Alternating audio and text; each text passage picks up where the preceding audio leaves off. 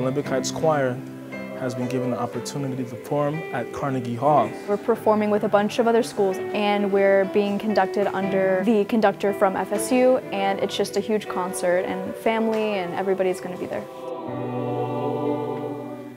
I never thought I'd ever just leave a state because I've never left anything before. It's a great opportunity, you know, to see what really lies beyond Florida, what, what the world really is out there.